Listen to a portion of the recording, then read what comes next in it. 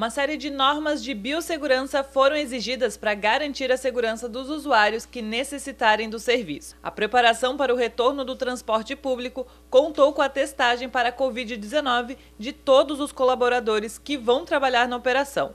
O transporte coletivo não vai funcionar durante os finais de semana. O objetivo da medida é evitar deslocamentos desnecessários.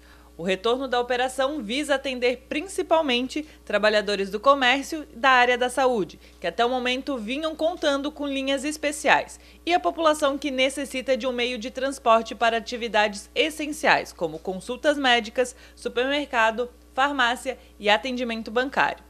Como o pagamento não pode ser feito em dinheiro, nesta segunda-feira começou o serviço de delivery de novos cartões. Para garantir o cartão, basta acessar o site www.consórciofênix.com.br, seguir o passo a passo, gerar o boleto e realizar o pagamento.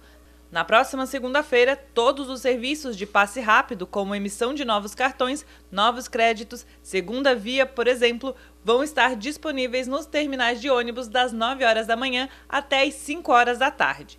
Os novos horários podem ser conferidos no site da Prefeitura www.pmf.sc.gov.br.